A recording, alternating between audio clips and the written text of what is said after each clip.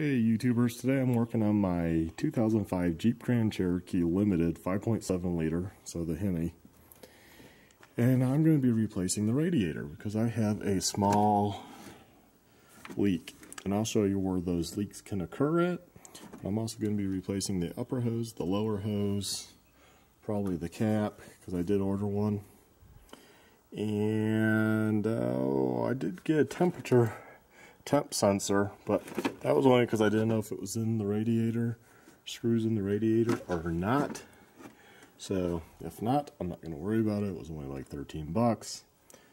But to start, what you do is you uh, take off the cover if you have it, which is just the oil cap holds it on.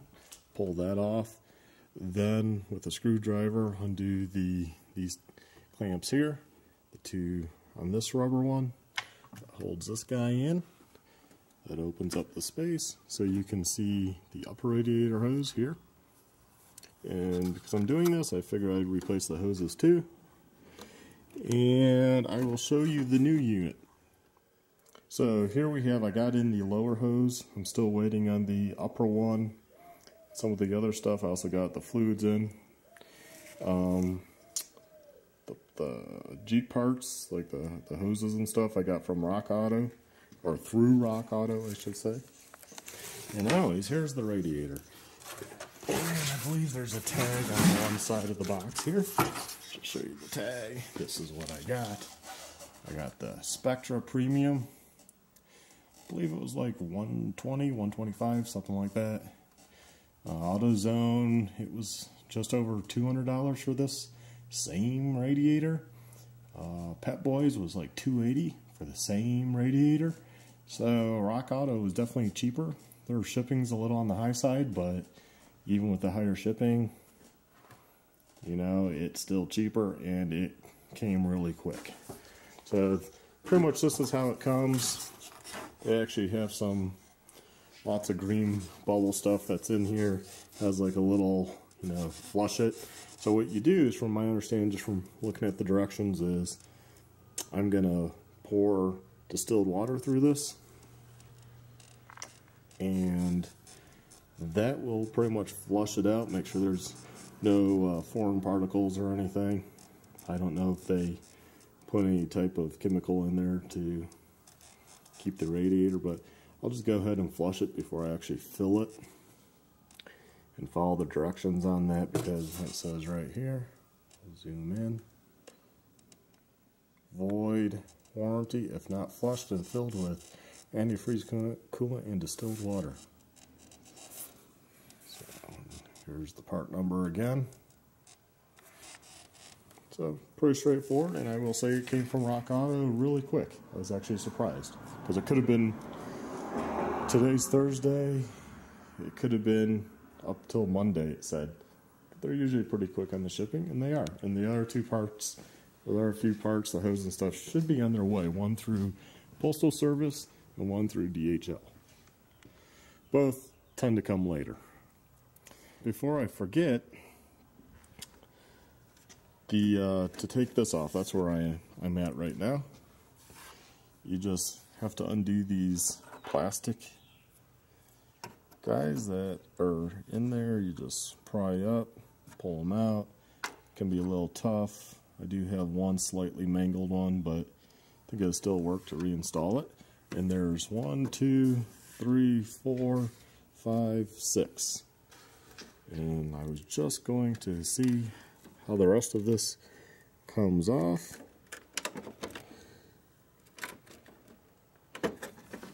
And possibly Right there is a, looks like a 10 mil. And I'm going to say that's it. So, so I'm back, took the grill out. Actually didn't have to undo that. It just rotates back and it comes right, right out. Pretty simple. So the really the only part that's holding it in good are those plastic tabs on the top here. So the next piece looks like I will take this hose off, or gasket off for the hood. And then this cross member, looks like I'll pull that out to get easy access here. So, far, pretty straightforward, not a big deal. I would say those are 10 mil also. And I already started undoing that if you saw that in the videos I kind of flashed by. That's the transmission cooler. A lot of different coolers here, so we'll see exactly what I need. Totally take off all it looks like those and that's braced into there, so I'll undo those guys. Yeah, they don't go through the other side. So, okay, be back. So, hey guys, so I got this bar pretty much off. Just want to kind of point things out. The nuts here are 13 millimeter. Takes off the hood latch. Then you can kind of move it to move these out to hopefully not need to totally take those off because they are kind of under there. I don't really want to mess with them. And the thing I didn't notice was the washer fluid reservoir is aluminum riveted on. So I used a quarter inch drill bit to drill that out and pop it off. So then we just remove the crossbar for the radiator. Set that down there. And we're getting closer. We're getting closer. Kind of like stops dirt and bugs, I guess. Where I think it's leaking is up in the seal between the plastic reservoir and the actual metal of the radiator. As you can see, it's crimped on. I guess that's very common. So, I mean, we got a fan here. We got, oh, I guess this is how the air intake comes in. Didn't realize that. Wonder if I can slide that piece off and out of the way. So, anyways, I'll come back in probably another minute.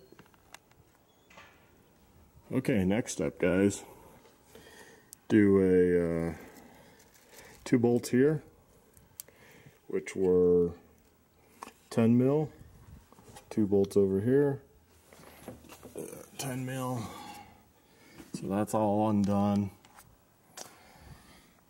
Also down there, you can get through down by the tow hook right there, and right there.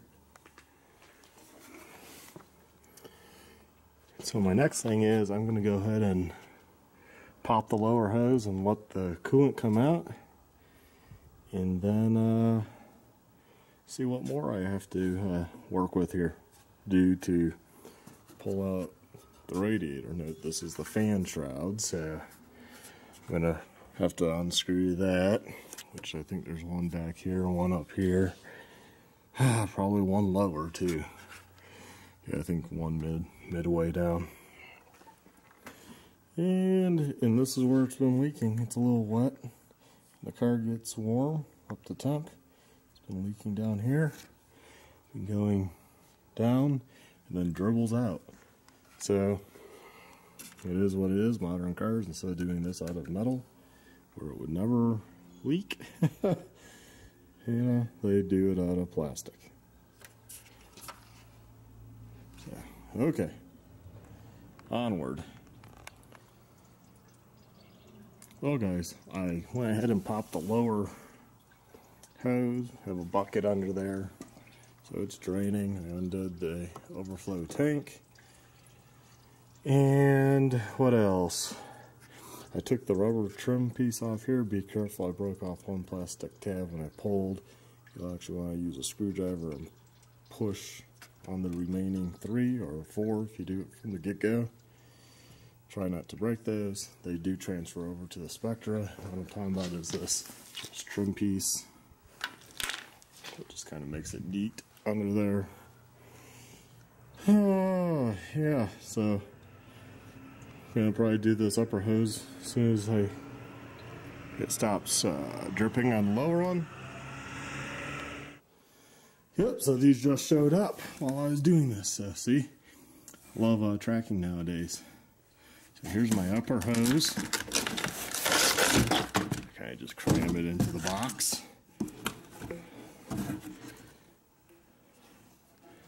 think it, yeah, something like that. This one's a Continental Elite. Hmm. One of. And then I also got the cap, radiator cap. Because I figured, well, what the heck. And also the temp sensor, but I see that it's actually in the block, which I guess guess makes sense. It looks like I can get to later on, and I don't have an issue with that, so it was like 13 bucks, so I'll just leave it. I think with shipping, probably like 16 bucks. It's not much. Won't worry about it. Do the main thing here, the radiator. Get the new hoses on, get the uh, the old radiator out, and the new one put in. Might notice something missing now. Went ahead and pulled the reservoir tank. The 8 mil that holds it in over here. Just a tab slot here when you slide it out and up. And yeah, that's pretty much it for that. And this plastic thing holds this side in. Just pushes on. Leave it there for now. And I took out the air box, which was a, I want to say 10 mil. And that's why I ended up taking that out because I could see that was going to be a pain in the butt to just I unscrewed it but to get back in there put it back in I'd be fighting it all day. Seeing as that's barely hold up, hold on just take it out. And this piece for the the air intake the plastic piece that was there which looks like this guy you just pull on it and it will come out there's like a little tab it's in so just kind of wiggle and pull and come out and then you can just yank that straight up because the rubber grommet down there holds it in kind of like a pin. So you just yank really hard. That's what it looks like. Kind of see what is going on. So next thing what I was doing was making sure fluids out of here best as possible so when I undo it I don't like drip too much on the floor, which is one of these clamps. And I have one of, I have this, a vice grip. That works really nice. Probably have to open it a little on this one because that one's wide. And then these have been on since day one. Probably have never been undone, so you'll want to probably work it back and forth, break it from the hose, and then if you can, come this way, but on this one, you have a long neck. You could go that way too. You just pull that off. This one was easy. I was able to undo it and slide it this way and pulled it right off. Radiator. So hey guys, I'm back. I think you're actually supposed to do, undo the AC and probably the um, power steering. But as you can see, I'm working it slowly out. The radiator that is, and I'm only, really I'm only hung up, there's a spot here due to the lines, so trying to be careful, but there's a tab down there that this guy can rest on and you can see where I got it. It keeps getting hung up in that area. So I'm actually heating up my plastic welder and I'm going to melt that tab off to pull this out. Now for the new one, what I did was I went ahead and dremeled, as you can see the Dremel up, I went and dremeled the tabs off on the bottom because honestly, you don't need it to have that big one sitting on it because it's bolted, it's bolted on, you know, so having tabs down there is kind of redundant. Sure that's something to do in the factory to have it all resting on each other, you know, while they're hooking things up, but I don't think it's really needed. So to make it easy sliding the new one in, I just pre cut them right off, and here they are, you know. This is the tab, it just sticks out like that. So just enough that you cannot slide the old radiator out. Course, it would probably be easier if you just disconnected everything, but Man, that's really of a pain. So I, I'm almost have it out. It's just getting hung up down there. So. Hey guys. Um, ta-da. It's all done. Magically. Now, actually, I totally failed at doing the radiator replacement. And guess what? I had to uh, take it to the mechanic. Because once you get down in here, to pull that out, you have to pull out everything. And you have to pull out all the coolers, the transmission, cooler, oil cooler, or maybe the front one's a power steering and then the radiator, the fan. I'm not quite sure how they pull all this out. And, well, um, I'm, I was more than happy to pay the $300 for them to put it in. I just went to a local mechanic. Yeah, it's a pain in the butt. I'll do the hoses easy, lower hose. You could do the hoses all day, every day. But to actually replace that radiator is just a pain. So everything's in now, running great, no leaks. So perfect.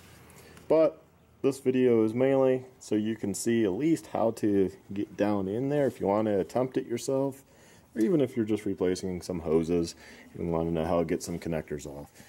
Or you can just watch me totally fail at this. Uh, oh well, sometimes you win, you win some, sometimes you lose. And I lost on this one. Oh well, 300 bucks. Not not a huge deal with the radiator and the hoses. 200, so 500 bucks. Got it replaced. So guys, thanks for watching. Please like, subscribe, check out my other videos.